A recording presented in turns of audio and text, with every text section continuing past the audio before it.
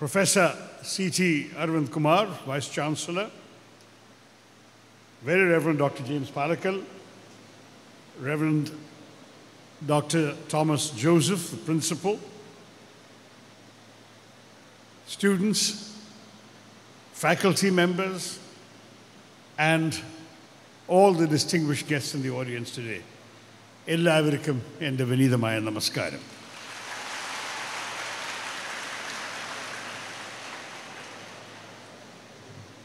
I must say that uh, I was delighted to be joining you on this beautiful morning to commemorate 75 years of excellence of Assumption College, Changanassery. In many ways, it's a morning full of hope and promise, the promise of a future even more glorious than the past we have gathered here to commemorate.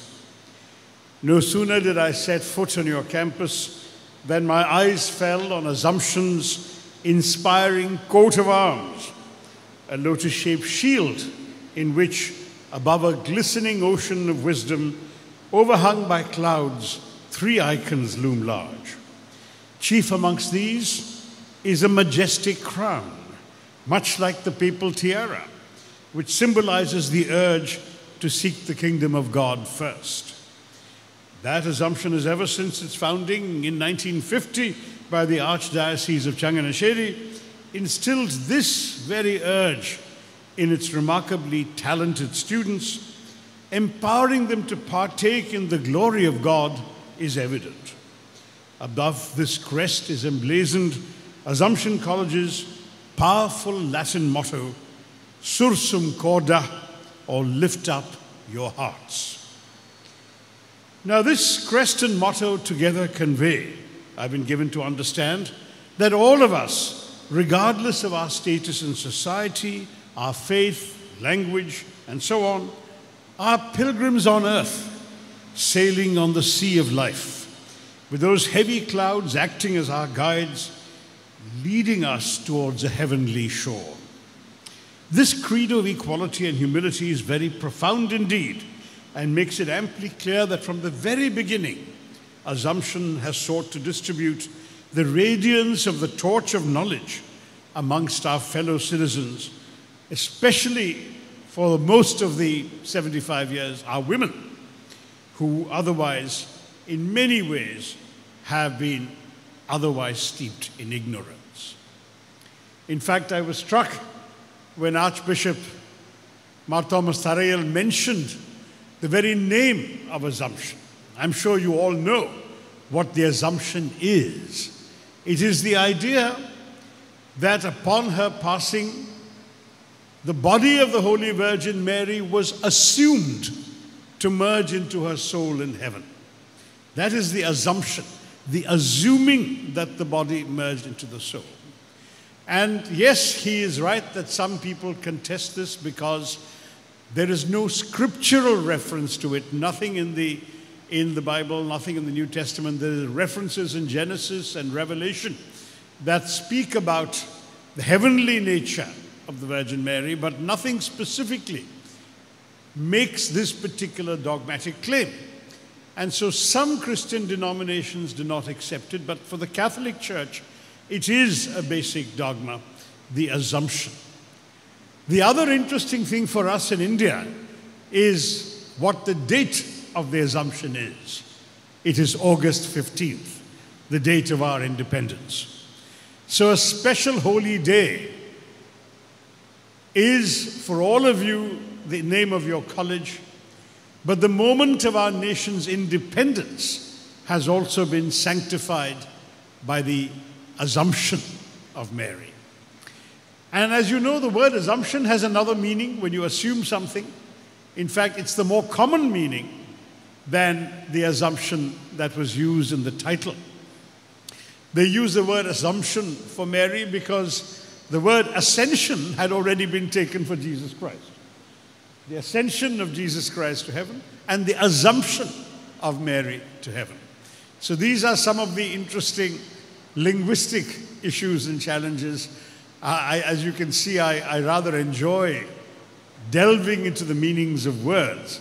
And so for me, having just authored a book about it called A Wonderland of Words, I was very struck when the Archbishop mentioned that the word assumption itself in the name of your college has excited some comment and discussion about its meanings. Now, I'm very, very grateful to be here, and I want to thank everybody on stage for having invited me. Uh, born of the vision to empower the women of Central Travancore through education, Assumption College has soared to phenomenal heights over the past 75 years. Not long after its founding, Assumption rapidly emerged as a citadel of scholastic brilliance, dedicated to imparting quality education to young women and endowing them with such skills and expertise as were required in a newly independent India on the cusp of sweeping technological and industrial change and transformation. This year, with the introduction of the four year undergraduate program, I see Assumption has become a co educational institution and that there are many young men here in the class, and that therefore the dazzling lamp of knowledge will sparkle brighter still. I'm impressed too, and since we are here to celebrate 75 years, I think it's worth mentioning that the recognition of your top class facilities and outstanding academic rigor is widespread. Assumption College has received a number of accolades. Among these, the R. Shankar Award, the Sister Teresa Award, the MG University Award, the Bharatiya Shiksha Ratan Award, the Gyan Bharati Shiksha Award, and for exceptionally pursuing women empowerment through education and entrepreneurship, the Educational Excellence Award.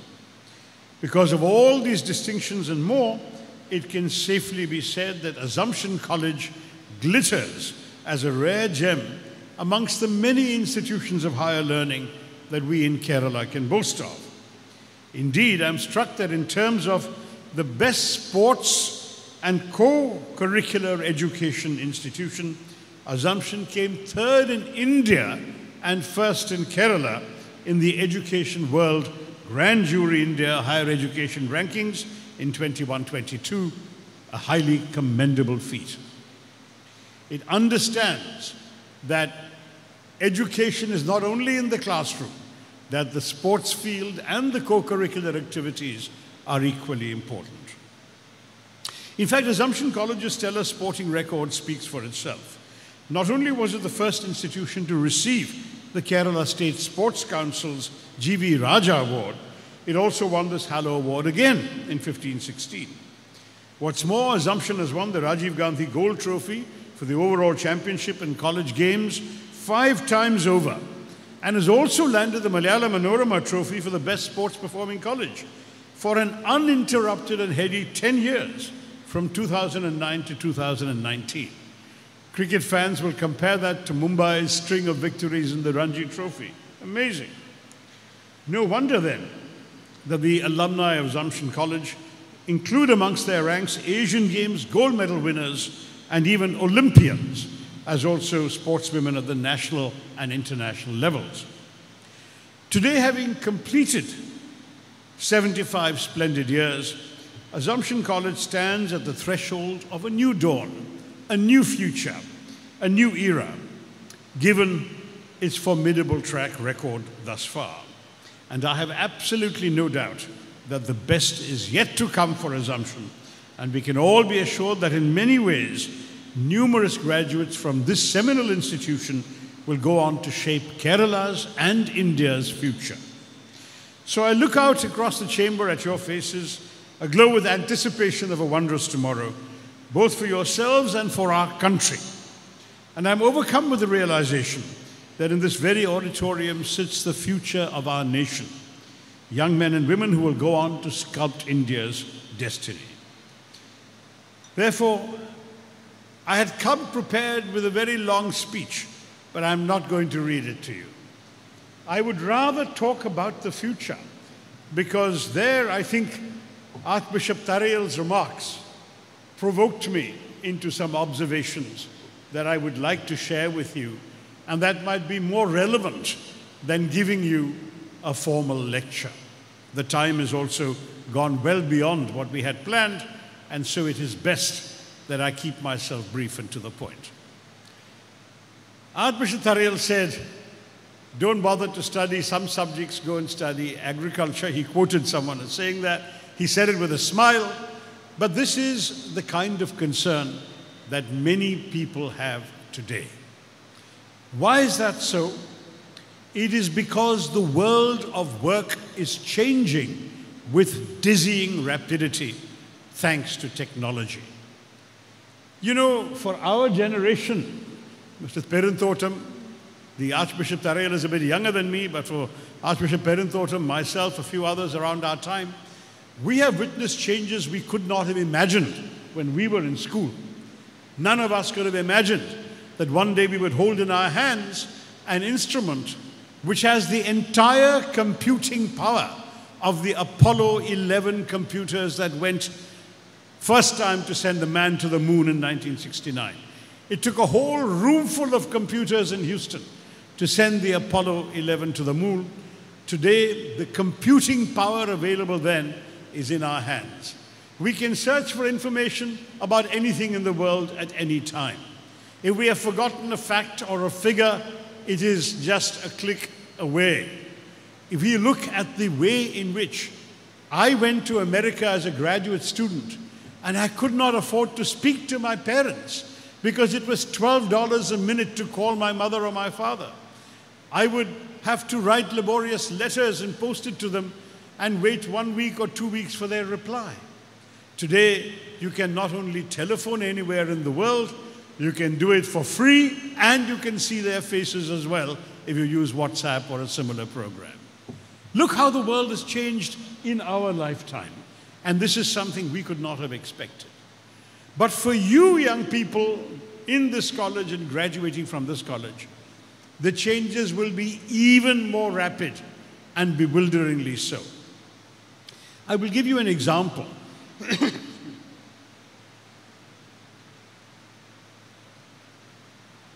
I will give you an example. At the beginning of the 20th century, there was a new profession. In fact, there were a whole bunch of new professions coming into existence because of the computer and internet revolution. You may remember, well, you may not remember because you were very young then, you may not even have been born then, but in the late 1990s, there was a big scare. It was called the Y2K scare. What was that scare? That all the computers in the world that people had just got used to having, they had two digit dates. And that after 1999, because only 99 would come, zero zero would come and all the computers in the world would crash. That was the fear. So what happened was, urgently, internet cables, undersea cables, were laid all the way across the world, mainly to India. And a whole bunch of Indian software engineers was busy in programming and reprogramming all the software of all the computers in the world so that instead of two digits, it will be four digits. Instead of zero, zero, it will be 2000, and the computers would not crash. Now, this turned out to be a big success. Maybe the scare was not even justified. Nobody's computer crashed. Everything went on as normal. But in the process, we suddenly had this huge internet capacity which had been built at express speed with all these cables under the sea. And as a result, new professions came into being. Suddenly, people realized that thanks to the internet, work could be done in India or even beyond India up to the Philippines while Americans were sleeping, and that Americans could benefit from the expertise of young educated Indians. So, one of the new professions that were born in the early years of the 21st century was a profession called medical transcription. And do you know what medical transcription was? Very simple. An American doctor would see his patients in America and he would have to dictate his notes about the patient. So he would have an up to date file. If the patient came back six months later, eight months later, he would be able to look up the file and remember the details of the patient, the case, the diagnosis, the prescriptions.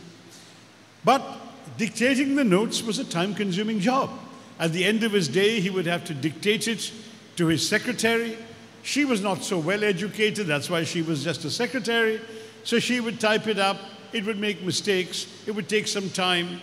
On top of that, he would have to then correct the mistakes. Meanwhile, the next day's patients had come. Meanwhile, the secretary needed a salary, needed leave, could fall sick, would need to be absent. All of these things meant that it was an onerous task for the American doctor. So somebody said, Why do we worry about this now? Thanks to the internet, the American doctor can dictate his notes into a machine. He can zing it across by computer, by internet to India. Indians with a basic medical education would receive it when they woke up in the morning and the American doctor is sleeping at night. They would type up the notes, and when the American doctor came back to work the next morning, he would get the notes fully typed up and ready, and he would get them in record time because no American secretary was going to type it overnight. On top of that, the Indians cost very much less than the American secretary. What a brilliant idea! Medical transcription started booming. We hired tens of thousands of Indians to do medical transcription. Every doctor in America was saving lots of money and, even more important, saving time by sending their notes to India. But then what happened? The boom lasted just a few years. Our people were so optimistic, they opened so many companies. Madras, Chennai alone had 20 companies doing nothing but medical transcriptions. Young people thought their careers were set for life. They were taking home loans and car loans and planning for a long future. But in less than 10 years, the entire dream burst. Because artificial intelligence powered voice recognition software was invented. And the doctor no longer needed to send his notes to India. He would speak into his computer, and as he spoke, for the price of one time software, his words would appear before his very eyes on the screen. And this artificial intelligence empowered software was self correcting. So if it made a mistake once or twice, the third time it would get it right on the basis of the doctor's corrections. End of story. All the doctors canceled their contracts with Indians. Medical transcription companies started collapsing. The entire job that many people thought would go on for decades started and finished and was over in less than 10 years. That is the reality of today's artificial intelligence world.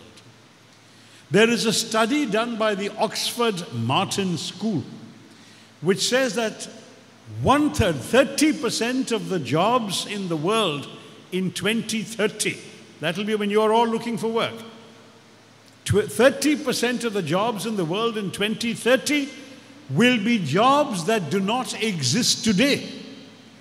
Now, how do your teachers prepare you for a job that does not exist? Well, whenever I address teachers, I give them one simple piece of advice do not teach your students what to think, teach them how to think. There could be no more important lesson in today's world of education. The old days when I was a student and we all had textbooks and lectures based on those textbooks, and we had to mug up these texts and regurgitate them in the examinations, that was out of date already when I was a student, but it is completely out of date today. Yes, maybe I can quote lines of Shakespeare or great poetry that you may not be able to quote.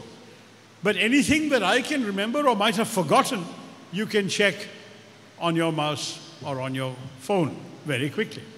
You don't need a mind full of facts. You don't need a well filled mind, which is what the old education system used to give you.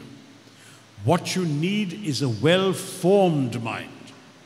A well formed mind is a mind that knows how to approach a problem, that knows how to grapple with it, that knows how to divine a path towards understanding where you can find a solution, and that has the sense of enterprise to go out and find a solution.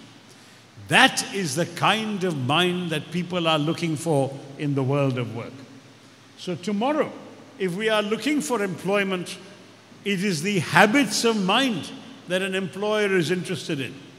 It may not just be your marks in your examinations. They'll want to talk to you, see how you react when you are confronted with an unfamiliar problem. How do you approach a, a difficulty you've never heard of before? How do you find a way to figuring out an answer? Those are the kinds of challenges that await us all. And yes, in fact, I was talking to the Vice Chancellor who remarked that these days he found there were still a lot of students going to the social sciences. And I applaud that. I have no problem with that. I myself am a history honors graduate. I believe the study of history has taught me about the world, has taught me the world is not just made of blacks and whites, but there are very many complicated shades of gray, that there are nuances to life and to human behavior that you can understand by studying the past. The study of liberal arts in general predisposes people to appreciating nuance, appreciating human nature, appreciating sometimes the importance of irrationality.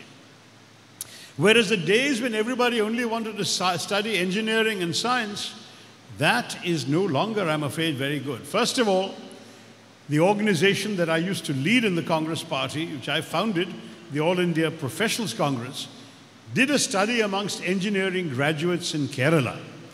And we found that 66% of Kerala engineering graduates were today in jobs that did not require an engineering degree. Can you imagine what a wasted education their parents put them through? Either their engineering degree was irrelevant to the job market, or the level of skills and the up to date skills required by the job market had simply not been imparted in the classroom. And so they ended up in other kinds of jobs. Engineering jobs not available to them.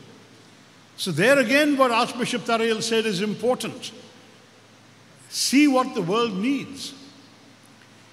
And I must admit that while science is important, research is important, matters that involve the application of human intelligence are no longer to be taken for granted as things that only we can do. He mentioned coding. Why is it you should not do coding? Because now people are writing artificial intelligence programs that will write code faster, better, and more perfectly than you can. When I became an MP, I remember inaugurating coding classes, encouraging young people to take up coding as a great profession. He's right, it no longer is a great profession.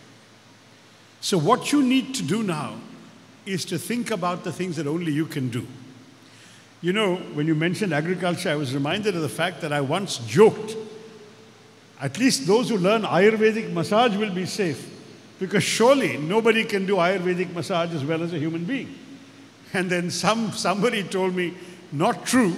We are now creating such sophisticated robots, they can give you a better Ayurvedic massage with more precise location of pressure points on the body than any human being can be trained to do.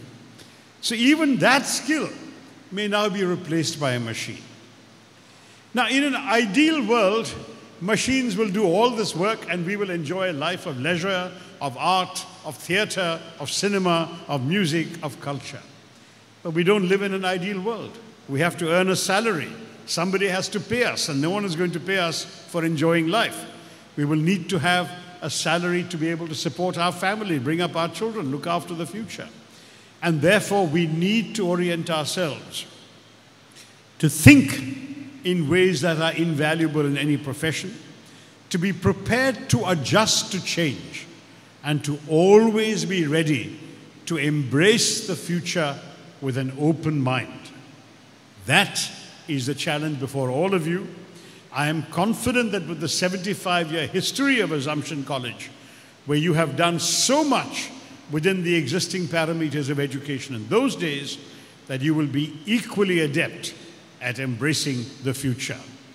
I'd like to congratulate once more everyone on stage on this wonderful occasion of the 75th anniversary of Assumption College. Thank you for providing me this platform and my very best wishes and good luck for the years to come, for the next quarter century before we can celebrate the centenary. Jai.